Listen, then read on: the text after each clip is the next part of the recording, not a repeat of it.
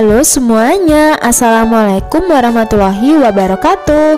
Selamat datang kembali di youtube channel Masakan Nya Di video hari ini aku mau membuat cikubla atau cikuwa seblak.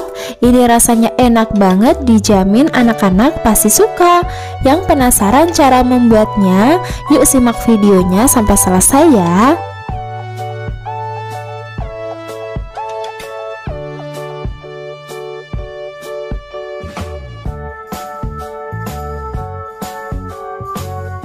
Pertama, siapkan 25 biji cikua, kemudian kita potong tipis-tipis atau kita potong menjadi 9 bagian ya teman-teman. Nah, hasilnya tipis-tipis banget ya. Dan sebelumnya buat teman-teman semua yang baru mampir, jangan lupa untuk subscribe terlebih dahulu dan tekan tombol loncengnya supaya tidak ketinggalan video terbaru dari masakan Nya. Yang sudah subscribe, terima kasih banyak.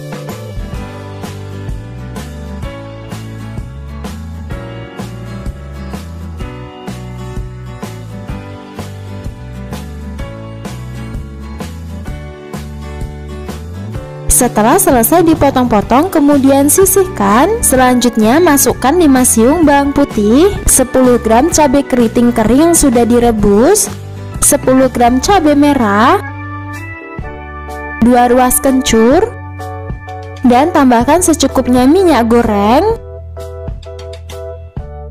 Kemudian langsung saja kita chopper sampai halus.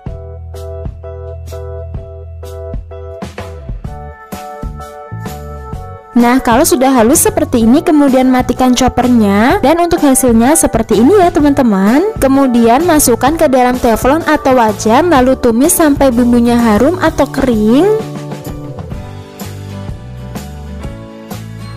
Nah kalau bumbunya sudah kering kemudian kita sisihkan ke pinggir. Nah lalu masukkan satu butir telur ayam yang sudah dikocok lepas Setelah itu telurnya kita orak-arik seperti ini ya teman-teman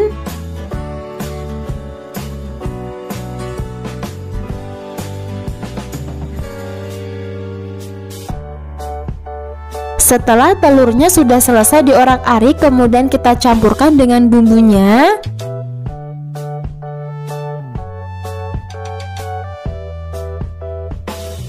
Nah, kemudian tambahkan 1000 ml air atau setara dengan 1 liter.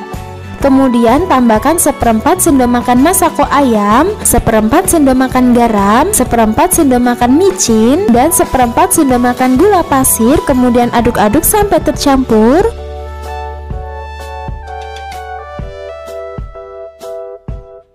Oh iya, jangan lupa tambahkan 2 sendok makan saus sambal ya. Kemudian kita masak sampai mendidih.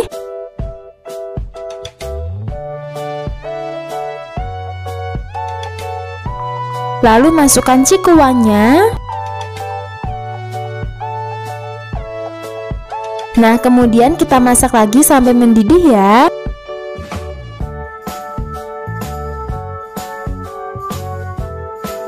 Oh iya, jangan lupa tambahkan potongan daun bawang dan daun seledri supaya kuahnya lebih harum lagi ya.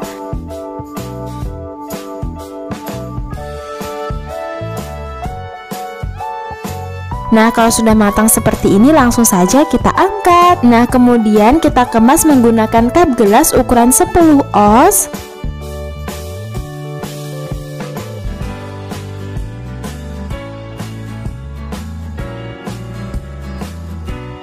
Dan hasilnya seperti ini ya teman-teman. Nah ini dia cikua seblaknya sudah matang. Langsung saja aku mau cobain dulu rasanya seperti apa